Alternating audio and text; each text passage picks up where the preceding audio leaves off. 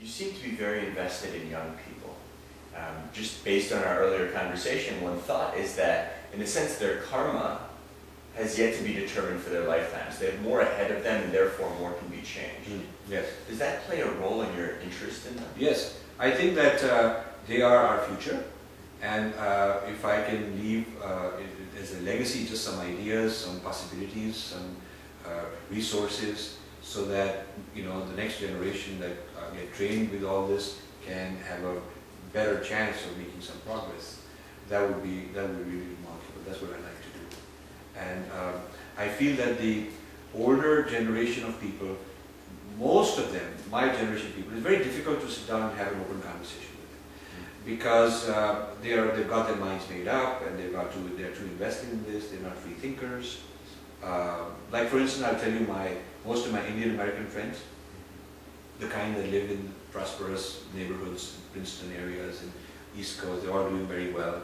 They don't understand why I'm doing all this. I could be doing deals, making millions of dollars. I could be investing in something.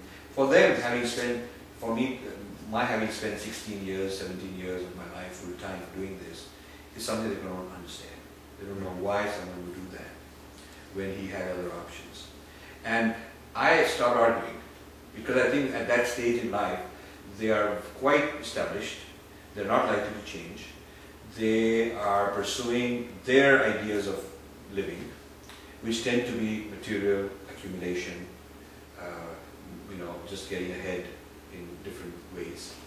And they, I, I, I have more fun when I visit their homes, I have more fun talking to kids. And I, I sit down and ask the young people around, you know, what they're doing and what, and so on, and I have more excitement dealing with them. Is the dharma of a child different than the dharma of an adult? Or are they just trying to self-actualize and realize the dharma of the adult? Yeah, I think the dharma is the, the, the person dharma is evolving during their life and it evolves in a direction based on their choices. And so, unfortunately, sometimes parents push the child too much into a certain direction, like as if my dharma has to become your dharma, that kind of an ego thing. I try not to do that with my kids. I I try to very explicitly, over and over again, let them make their choices, choose their careers, do whatever, whatever is their calling, experiment openly, feel safe in trying things, change their mind.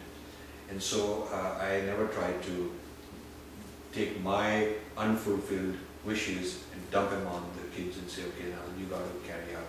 And a lot of Indian parents are pressuring their kids to go into medicine or go into law or go into uh, industry or Wall Street or technology because there's some careers where you can do better, and make more money. So they're applying their criteria of happiness and success onto the kids. And maybe the kid wants to become a musician, or maybe the kid wants to become an artist or become a great chef or whatever. And they're not allowing or certainly not encouraging them to express that for themselves. So the children inherit the dharma of their parents, They- rather than letting their own manifest itself. Yes, the children have their own dharma, but it gets overridden, overruled by the parents imposing too much. Even in religion, I have, uh, uh, you know, encouraged my kids to sort of decide for themselves, learn about different traditions, and have their own ideas about spirituality.